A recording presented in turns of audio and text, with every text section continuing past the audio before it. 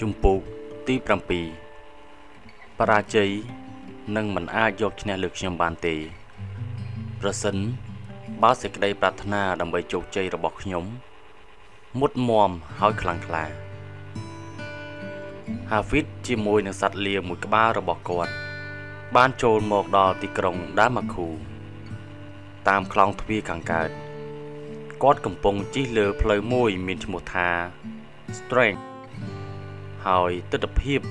នៅតាមដងវិថីនេះធ្វើឲ្យ Hafid កាន់តែមានអារម្មណ៍ភ័យខ្លាច និងព្រួយបារម្ភលើសដើមព្រោះសំឡេងអើងកង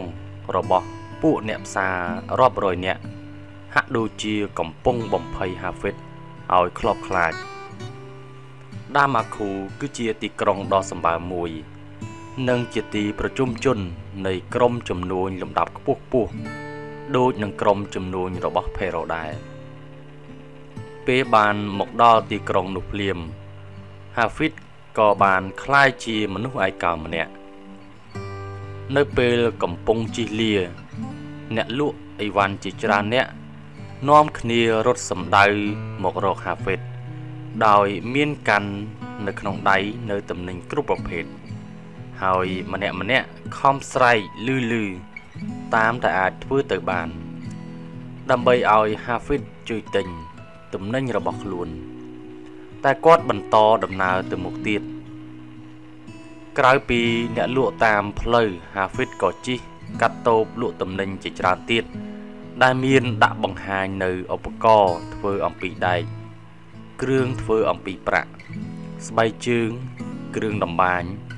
គ្រឿងធ្វើអំពីឈើ ហើយជំហាននីមួយនីមួយរបស់លា តែងនាំគាត់ទៅដល់តូបថ្មីថ្មី ដែលម្ចាស់តូបនីមួយនីមួយលើកដៃហៅគាត់ឲ្យជួយទិញទំនិញរបស់ខ្លួន នៅចំពីមុខហាហ្វិតទៅហួសពីជញ្ជាំងក្រមផ្នែកខាងលិច គឺជាជួរភ្នំហាមុន ដែលនៅក្នុងរដូវប្រាំង គឺដោយ ក៏ដោយកកំពូលរបស់វាតែងគ្របដណ្ដប់ទៅដោយផ្ទៃពណ៌សហើយភ្នំហឺមុននោះហាក់ដូចជាកំពុងសម្លឹងមកទីផ្សារដ៏សែនត្រហើងអឹងកងដោយសេចក្តីអធិស្ឋ័យនិងអត់ធ្មត់ជាទីបំផុត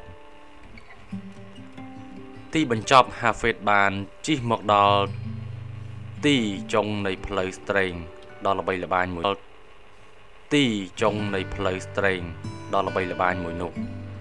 ហើយគាត់ក៏ចុះសួររកបន្ទប់ជួល នៅក្នុងផ្ទះសំណាក់មួយដែលមានឈ្មោះថាម៉ូឆាបន្ទប់របស់គាត់ស្អាតល្អប៉ុន្តែ Hafid ត្រូវបានទៀមទីឲ្យបង់ថ្លៃកក់ចំនួន1ខែទុកមុន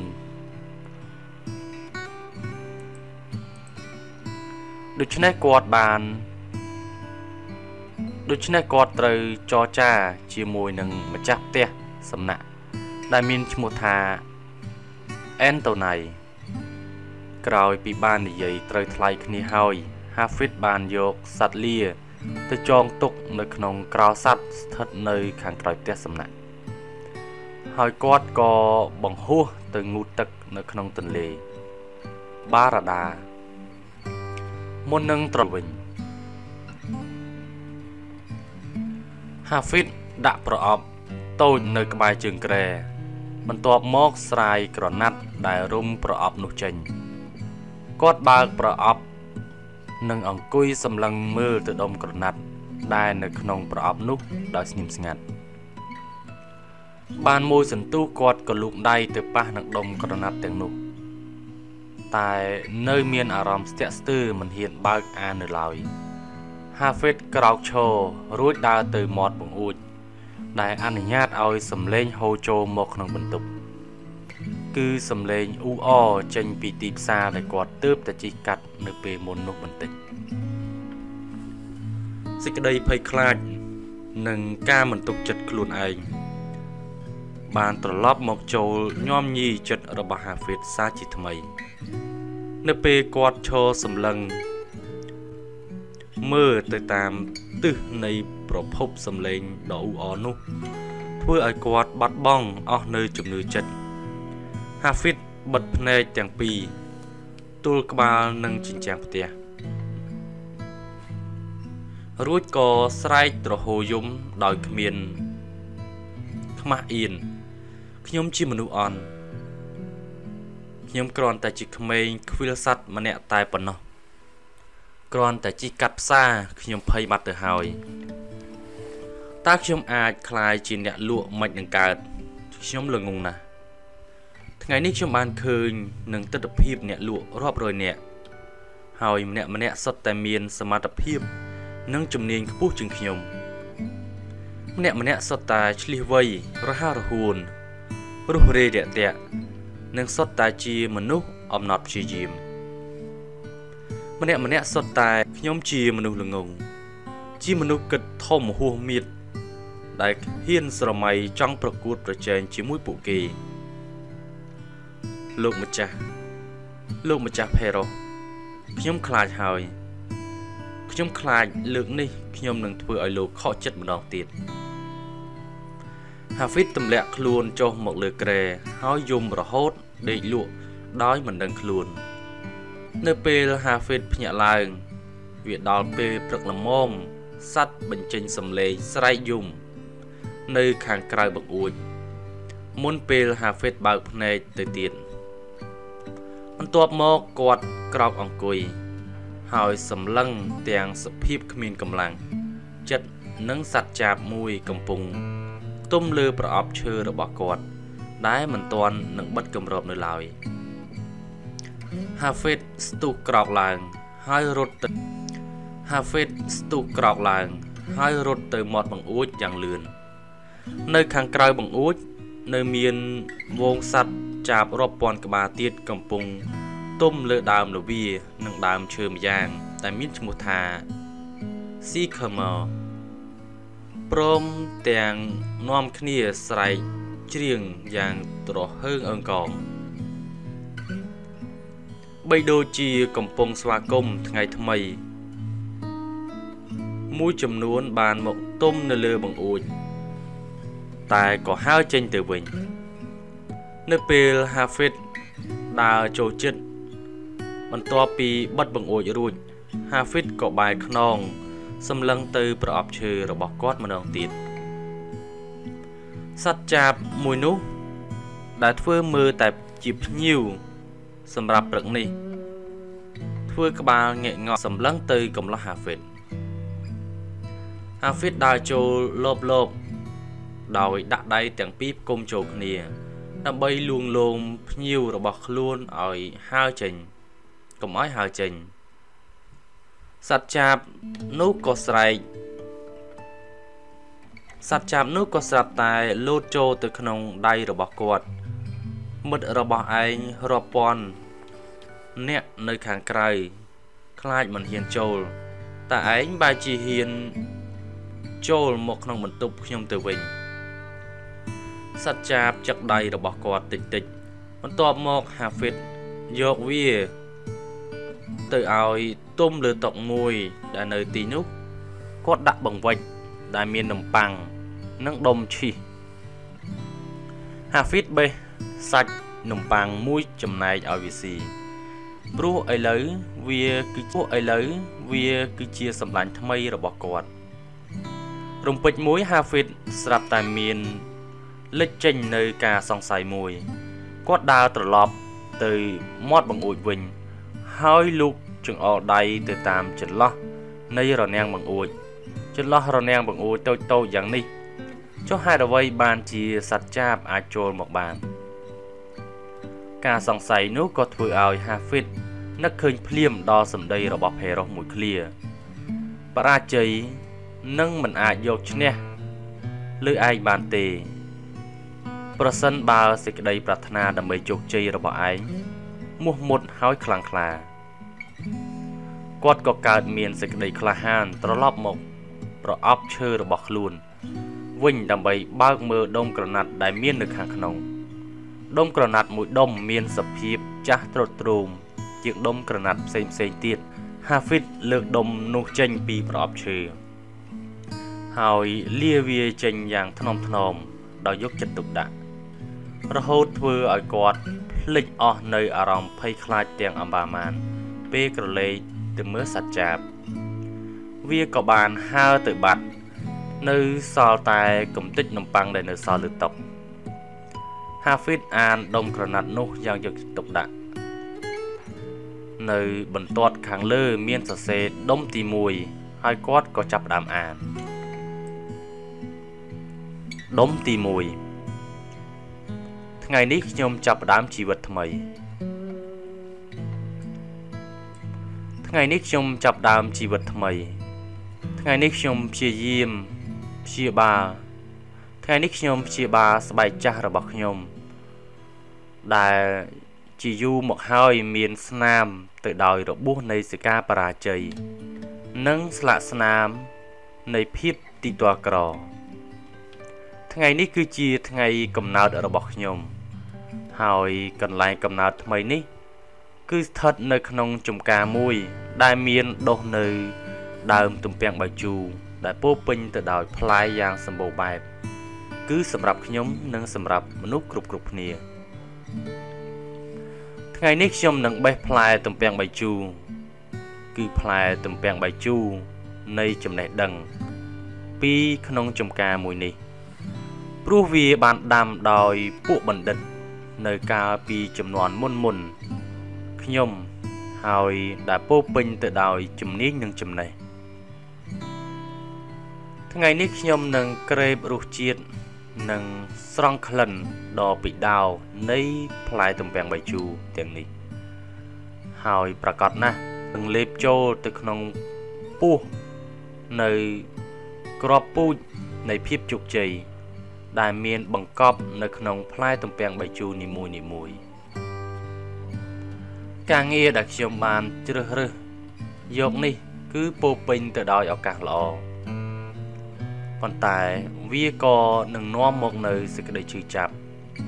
សេចក្តីខកចិត្តនិងសេចក្តីទុក្ខទោសដល់រូបរាងកាយចំពោះជនបរាជ័យក្នុងការងារនេះហើយដែលបានដួលរលំមកលើគ្នាម្ដងម្នាក់ម្ដងម្នាក់ រហូតដល់คลายទៅជាភ្នំខ្ពស់មួយដែលអាចចោលស្រមោលមកលើផែនដីបានប៉ុន្តែខ្ញុំនឹងមិនបរាជ័យឡើយព្រោះមិនខុសពីបុគ្គលជោគជ័យផ្សេងផ្សេងទៀតទេ នៅក្នុងដៃរបស់ជ័យផ្សេងផ្សេងទៀតទេ នៅក្នុងដៃរបស់ខ្ញុំឥឡូវនេះមានត្រីវិស័យមួយ ដែលនឹងបង្ហាញផ្លូវដល់ខ្ញុំ ដើម្បីឆ្លងកាត់មហាសាគរដ៏សែនគ្រោះថ្នាក់នេះ ហើយនៅទីបញ្ចប់ខ្ញុំនឹងមកដល់តំបន់ឆ្នេរមួយ ដែលកាលពីម្សិលមិញ គឺគ្រាន់តែជាក្តីស្រមៃតែប៉ុណ្ណោះភាពបរាជ័យលែងជារង្វាន់នៃការតស៊ូរបស់ខ្ញុំតទៅទៀតហើយព្រោះការពិតធម្មជាតិមិនមែនផ្ដល់មក ឲ្យរូបកាយខ្ញុំ នៅការឈឺចាប់តែមួយមុខនោះទេ ហើយធម្មជាតិក៏មិនមែនបង្កើតជីវិតខ្ញុំមកឲ្យស្គាល់តែសេចក្តីទុក្ខវេទនាតែម្យ៉ាងនោះដែរភាពបរាជ័យគឺមិនខុសអ្វីអំពីការឈឺចាប់មួយ ដែលកើតមកតែងតែរលត់ទៅវិញ តាមពិតទៅយើងហៅវាថា ជាការបរាជ័យព្រោះវាជាអាការៈចម្លែកខុសពីធម្មតា ដែលយើងមិនធ្លាប់បានស្គាល់ពីមុនមកតែប៉ុណ្ណោះកាលពីអតីតកាលពេលជួបនឹងការបរាជ័យម្ដងម្ដងខ្ញុំតែងដាក់ខ្លួនខ្ញុំតែងដាក់ឈ្មោះខ្លួនឯងថាជាជនបរាជ័យប៉ុន្តែឥឡូវនេះ ខ្ញុំនឹងបដិសេធមិនទទួលស្គាល់ភាពបរាជ័យតទៅទៀតទេ ហើយផ្ទុយមកវិញខ្ញុំត្រៀមខ្លួនដើម្បីទទួលយកចំណេះដឹង និងក្បួនច្បាប់ដែលជាប្រទីបបង្ហាញផ្លូវឲ្យខ្ញុំ ចេញផុតពីរាត្រីងងឹតសូនសុងនៃភាពអវិជ្ជាឆ្ពោះទៅកាន់ទីភ្លឺដ៏ចែកដោយពន្លឺនៃទ្រព្យសម្បត្តិមុខមាត់នៅក្នុងសង្គម និងសេចក្តីសប្បាយរីករាយដែលច្រើនលើសពីការស្រមៃនឹកដល់របស់ខ្ញុំទៅទៀតច្រើនរហូតដល់ដើមប៉មមាសទាំងអស់នៅក្នុងសួនរបស់ Hesper Eudes នៅមិនទាន់ស្មើនឹងរង្វាន់ដែលខ្ញុំនឹងទទួលបានទៀតផង ពេលវេលានឹងបង្រៀនមនុស្សឲ្យមានជីវិតអមតៈនៅបទពិសោធន៍គ្រប់យ៉ាងប៉ុន្តែខ្ញុំគឺគ្រាន់តែជាមនុស្សធម្មតាម្នាក់មិនអាចមានជីវិតរស់នៅរហូតបានដូច្នេះខ្ញុំនឹងធ្វើការបែងចែកពេលវេលាសម្រាប់ការរៀនសូត្រនៅវិជ្ជា ការទប់ការរៀនសូត្រនៅវិជ្ជា ការទប់កំហឹងនិងសេចក្តីក្រឹបក្រោតដែលតែងកើត ចេញពីសេចក្តីតក់ក្រហល់ខុសពីដំណើរនៃធម្មជាតិដែលប្រព្រឹត្តទៅនៅក្នុងសភាពតក់ក្រហល់ឡើយដើម្បីបានស្ដាច់ឈើអូលីវមួយដើម វាត្រូវការពេលរហូតដល់ទៅរាប់រយឆ្នាំឯណោះសូម្បីតែខ្ទឹមបារាំងមួយដើមក៏ត្រូវការពេលយ៉ាងតិចណាស់9សប្តាហ៍ដែរ ដូច្នេះដូច្នេះខ្ញុំត្រូវរៀនរស់នៅក្នុងសេចក្តីអត់ធ្មត់យ៉ាងហោចណាស់ឲ្យដូចទៅនឹងដើមខ្ទឹមបារាំងនោះទោះបីជាវាមិនធ្វើឲ្យខ្ញុំសប្បាយចិត្តក៏ដោយមែនហើយខ្ញុំមិនអាចคลายជាស្ដាច់ឈើដូចជាដើមឈើអូលីវក៏ពិតមែនប៉ុន្តែខ្ញុំអាចคลายជាអ្នកលក់ដ៏កំពូលម្នាក់បាន តើខ្ញុំអាចទទួលជោគជ័យនេះដោយរបៀបណាព្រោះបច្ចុប្បន្ននេះសូម្បីតែចំណេះដឹង និងបទពិសោធន៍ខាងលក់ក៏ខ្ញុំមិនមាន ហើយថែមទាំងជាមនុស្សងងខ្លៅរូបរិទ្ធទៅដោយជំងឺទម្រុនខ្លាចខ្លួនឈឺខ្លាចខ្លួនលំបាកចម្លើយនៃសំណួរមួយនេះ គឺសាមញ្ញបំផុត គឺខ្ញុំត្រូវចាប់ផ្ដើមជីវិតថ្មីមួយ ហើយលើកនេះខ្ញុំនឹងបំភ្លេចចោលឲ្យអស់នៅចំណេះដឹងណាដែលមិនចាំបាច់ព្រមទាំងជំរុះចោលនៅរឿងអតីតកាលដែលគ្មានប្រយោជន៍ តាមពិតទៅធម្មជាតិបានផ្ដល់មកឲ្យខ្ញុំរួចស្រេចទៅហើយនៅចំពិតទៅធម្មជាតិបានផ្ដល់មកឲ្យខ្ញុំរួចស្រេចទៅហើយនៅចំណេះដឹង និងសភាវគតិដែលខ្ពស់ឆ្ងាយខ្លាំងណាស់ជាងពពួកសត្វព្រៃនានា ចំណែកឯបទពិសោធន៍វិញ គឺគ្រាន់តែជារបស់ ដែលអាចរកបានតាមក្រោយតែប៉ុណ្ណោះប៉ុន្តែបទពិសោធន៍តែងត្រូវ បានគេឲ្យតម្លៃច្រើនហួសហេតុពេកហើយជាញឹកញាប់វាត្រូវបានឲ្យតម្លៃខ្ពស់ដោយមនុស្ស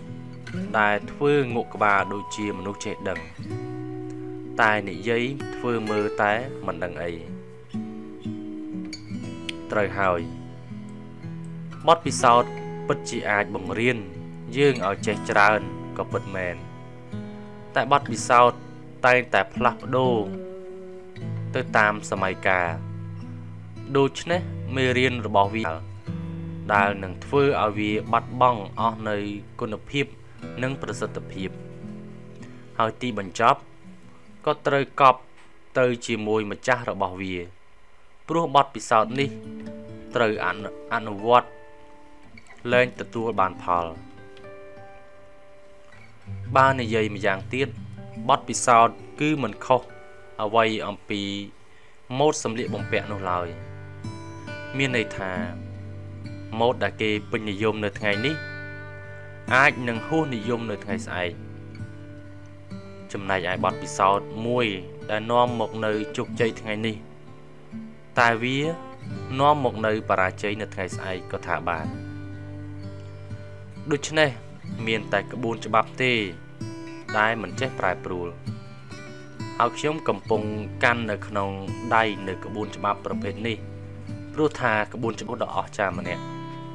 បែបនេះគឺត្រូវបានគេសរសេរដាក់នៅក្នុងដុំក្រណាត់ទាំងអស់នេះភាគច្រើនក្បួនច្បាប់នេះនឹងបង្ហាត់ខ្ញុំឲ្យចេះការពារខ្លួនកុំឲ្យធ្លាក់ដល់ភាពបរាជ័យជាជាងបង្ហាត់ឲ្យចេះបង្កើតភាពជោគជ័យព្រោះថា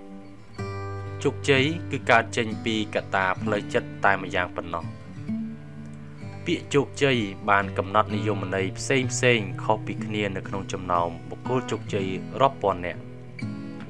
ប៉ុន្តែពួកគេមានពាក្យមួយឃ្លាដូចដូចគ្នា ដើម្បីកំណត់និយមន័យឲ្យពាក្យបរាជ័យមនុស្សម្នាក់ដែលអាចកំណត់ថាជាមនុស្សបរាជ័យ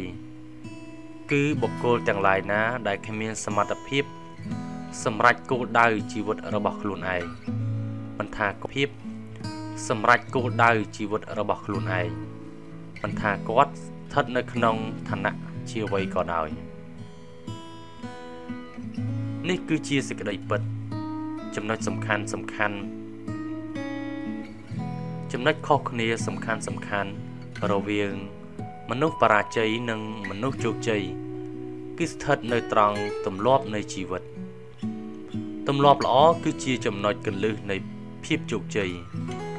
ចំណែកឯទម្លាប់អាក្រក់វិញ គឺជាផ្លូវដែលនាំទៅកាន់ភាពបរាជ័យ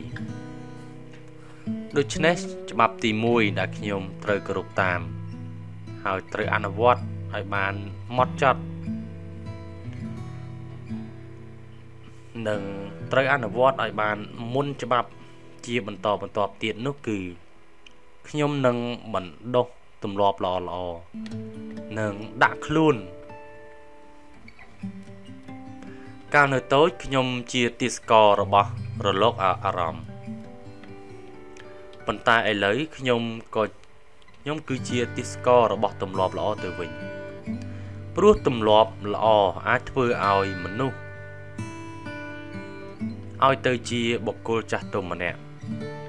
និងប្រើពេលវេលាប្រកបដោយភាពអត់ធ្មត់បំផុត ដើម្បីកសាងទម្លាប់ល្អល្អទោះវាត្រូវការពេលច្រើនឆ្នាំប៉ុណ្ណាក៏ដោយហើយខ្ញុំក៏លែងប្រើពេលវេលានេះ ដើម្បីរស់នៅក្នុងអតីតកាលតទៅទៀតដែរព្រោះវាជាទង្វើអាចនាំទៅដល់ការឃុំឃាំងអនាគតរបស់ខ្លួនឯងទៅវិញទេ សកម្មភាពរបស់ខ្ញុំ ត្រូវបានបញ្ជាដោយសេចក្តីស្រេកឃ្លានខ្ញុំត្រូវបានបញ្ជាដោយសេចក្តីស្រេកឃ្លានសេចក្តីប៉ងប្រាថ្នាសេចក្តីប្រកាន់សេចក្តីលោភលន់សេចក្តីស្នេហាសេចក្តីខ្លាចបរិយាកាសប៉ុន្តែអ្វីដែលមានអំណាចខ្លាំងជាងគេមកលើសកម្មភាពរបស់ខ្ញុំ នោះគឺទម្លាប់ដូច្នេះបើខ្ញុំត្រូវតែជាទិសករបស់ទម្លាប់ទៅហើយខ្ញុំប្រាថ្នាសូមធ្វើជាទិសករបស់ទម្លាប់ល្អល្អខ្ញុំក៏ត្រូវកំចាត់ចោលនៅទម្លាប់អាក្រក់អាក្រក់ឲ្យវាคล้ายទៅជាទម្លាប់ថ្មីរបស់ខ្ញុំចុះក្រោយពីទម្លាប់នេះហើយ តើខ្ញុំនឹងទទួលបានប្រយោជន៍អ្វីខ្លះនៅទីនេះ គឺមានលាក់ទុកនៅនៅទីនេះ គឺមានលាក់ទុកនៅអាកំបាំងដែលនាំឲ្យមនុស្សទទួលជោគជ័យនៅក្នុងជីវិតកាលណាខ្ញុំទន្ទិញក្បួនច្បាប់នេះជាប្រចាំនិងជារៀងរាល់ថ្ងៃ ពាក្យនីមួយនីមួយនឹងជ្រាបចូលជ្រៅទៅដល់ខួរក្បាល រហូតคล้ายជាសតិមួយនៅក្នុងចិត្តរបស់ខ្ញុំប៉ុន្តែរឿងដែលសំខាន់ជាងនេះទៅទៀតនោះគឺពាក្យពេចន៍នីមួយនីមួយនឹងជ្រាបចូលទៅក្នុងចិត្តទី2ដែលគេអាចហៅថាចិត្តមិនដឹងដែលជាធាតដ៏សែនអកំបាំងមិនចេះឈប់សម្រាក និងមិនចេះដេកលងលក់តែចិត្តមិនដឹង នេះគឺជារោងចក្របង្កើតនៅក្តីសុបិនជាកម្លាំងចលករជំរុញឲ្យខ្ញុំឆ្ពោះទៅក្នុងសកម្មភាពដោយស្វ័យប្រវត្តិដោយពេលខ្លះខ្ញុំថែមទាំងមិនដឹងខ្លួនផងក៏មានបើកាលណា ពាក្យនៅក្នុងដុំក្រណាត់ទាំងអស់នេះ បានចូលទៅដល់ចិត្តទី2ហើយវានឹងធ្វើឲ្យខ្ញុំមានអារម្មណ៍ឃ្លាវខ្លាខុសប្លែកពី ធម្មតាមិនខុសមិនធ្លាប់មានពីមុនមកកម្លាំងនិងធម៌ពលរបស់ខ្ញុំនឹងត្រូវបានរំដោះសេចក្តីស្រស់ស្រាយនៅក្នុងចិត្តនឹងកើតឡើង សេចក្តីចង់ធ្វើទំនាក់ទំនងជាមួយនឹងពិភពលោកខាងក្រៅនឹងធ្វើឲ្យខ្ញុំភ្លេចអស់នៅការខ្លាច ដែលខ្ញុំធ្លាប់មានកាលពីមុនមក នៅពេលក្រោកពីដំណេកម្ដងម្ដងហើយខ្ញុំនឹងមានសេចក្តីសប្បាយរីករាយនឹងពិភពលោកនេះទោះបីជា កន្លែងដែលពោពេញទៅដោយលំបាកនិងទុក្ខព្រួយក៏ដោយហើយចុងបញ្ចប់ខ្ញុំនឹងមានសេចក្តីក្លាហានហ៊ានប្រឈមមុខនឹងរាល់គ្រប់ស្ថានភាពទាំងឡាយព្រោះខ្ញុំត្រូវបានបញ្ជាឲ្យតតាំងដោយសំឡេងរបស់ពាក្យទាំងនេះ ដែលហូរចេញពីចិត្តមិនដឹងរបស់ខ្ញុំ ហើយយូរយូរទៅសកម្មភាពនៃសេចក្តីក្លាហាននេះក៏នឹងคล้ายជាទម្លាប់ក៏នឹងคล้ายទៅជាការដែលងាយនឹងធ្វើព្រោះថាសកម្មភាពមួយបើកាលណាសកម្មភាពមួយបើកាលណាធ្វើម្ដងហើយម្ដងទៀត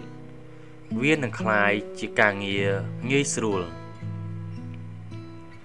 ធ្វើតាមរបៀបនេះទម្លាប់ថ្មីល្អល្អមួយនឹងចាប់ផ្ដើមដុះចេញឡើងព្រោះថាការងារមួយបើកាលណាធ្វើដដែលដដែលជាប្រចាំវាមិនត្រឹមតែคล้ายជាការងារងាយស្រួលប៉ុណ្ណោះទេ វាក៏ធ្វើឲ្យយើង មានសេចក្តីរីករាយនិងធ្វើវាថែមទៀតផងហើយបើយើងមានសេចក្តីរីករាយនឹងធ្វើវា យើងនឹងពេញចិត្តធ្វើវាម្ដងហើយម្ដងទៀតព្រោះនេះគឺជាធម្មជាតិរបស់មនុស្សដែលចូលចិត្តធ្វើអ្វីដែលខ្លួនចូលចិត្តនៅពេលខ្ញុំធ្វើវាជាញឹកញាប់និងជាប្រចាំវាក៏នឹងคล้ายទៅជាទម្លាប់របស់ខ្ញុំជាទិសកលរបស់ទម្លាប់នេះទៅវិញតែដោយសារវាគឺជាទម្លាប់ល្អខ្ញុំពេញចិត្តនឹងធ្វើជាទិសកលរបស់វា ថ្ងៃនេះខ្ញុំចាប់ផ្ដើមជីវិតថ្មីហើយខ្ញុំសូមស្បត់ចំពោះខ្លួនឯងថាខ្ញុំនឹងមិនអនុញ្ញាតឲ្យអ្វីមួយមកបន្តិចបង្អាក់ការលូតលាស់នៃជីវិតថ្មីរបស់ខ្ញុំនេះឡើយខ្ញុំក៏មិនឲ្យថ្ងៃណាមួយកន្លងទៅ ដោយមិនបានអានក្បួនច្បាប់នេះដែរព្រោះពេលវេលា មិនអាចត្រឡប់ថយក្រោយវិញបានហើយខ្ញុំក៏មិនអាចយកថ្ងៃណាមួយ មកជំនួសថ្ងៃដែលបានកន្លងផុត ទៅហើយនោះបានឡើយមិនត្រឹមតែប៉ុណ្ណោះទេខ្ញុំក៏មិនក្បត់ពីព្រោះសេចក្តីពិតមួយកំណត់ថាគ្រប់វិនាទីដែលចំណាយជារៀងរាល់ថ្ងៃ លើការបណ្ដុះទម្លាប់ល្អមួយ គឺជាការចំណាយមួយតូចទេ តែវានឹងនាំមកនៅសេចក្តីសប្បាយចិត្តនិងភាពជោគជ័យដែលខ្លួនប្រាថ្នាចង់បាននៅពេលខ្ញុំអានម្ដងម្ដង ហើយម្ដងទៀតនៅពេលខ្ញុំអានម្ដងហើយម្ដងទៀត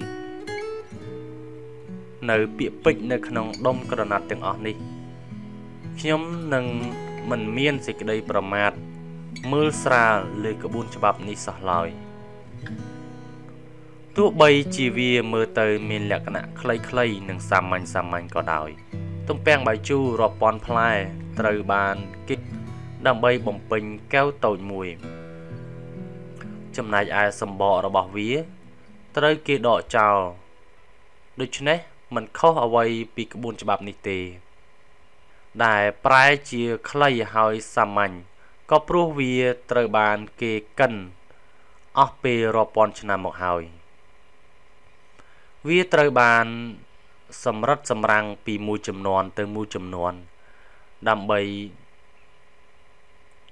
ចំណែកឯចំណុចគ្មានប្រយោជន៍ក៏ត្រូវគេដកចេញនិងបោះចោលឲ្យរសាត់ទៅតាមខ្យល់នៃពេលវេលា អ្វីដែលនៅសល់នៅក្នុងបន្សុទ្ធចុងក្រោយនឹងត្រូវបានគេសរសេរដាក់នៅដុំក្រណាត់ទាំងអស់នេះដូច្នេះខ្ញុំនឹងផឹកស្រាទំពាំងបាយជូរនៃចំណេះដឹងនេះ ដោយមិនអោយកំពប់សំបីតែមួយដំណក់ណាឡើយព្រោះនេះជាទឹកបីតែមួយដំណក់ណាឡើយព្រោះនេះជាទឹកមុននៃភាពជោគជ័យ ថ្ងៃនេះខ្ញុំទុកឲ្យស្បែកចាស់របស់ខ្ញុំคล้ายទៅជាធូលីដីទៅចោះហើយខ្ញុំនឹងដើរប្រកបដោយសេចក្តីក្លាហាន នៅក្នុងចំណោមមនុស្សទាំងពួងហើយពួកគេក៏មិនបានដឹងថាថ្ងៃនេះខ្ញុំបានចាប់ផ្ដើម